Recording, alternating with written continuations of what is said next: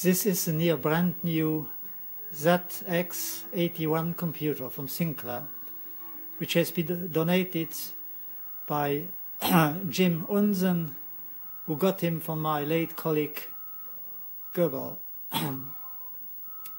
this uh, small thing has a very special printer connected to it and it gives his output on a small television.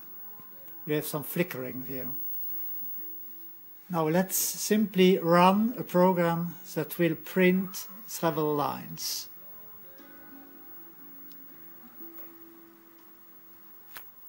So I just tape run.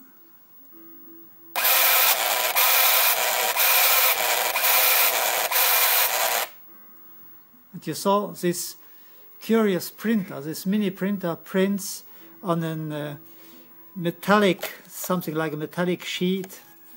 It is a paper coated with a small foil of aluminium and this aluminium is burned by a stylus.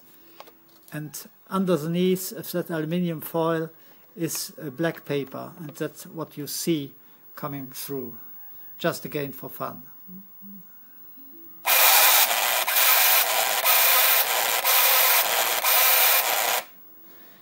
If we watch the screen of the television, we see that the printer is very busy and that screen is simply, well, that screen is simply flickering.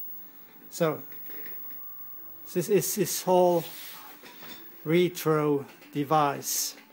You see at the left the television, which does not belong to uh, the package, the ZX81 two memory extensions, and last but not least, a very rare item, this minuscule printer.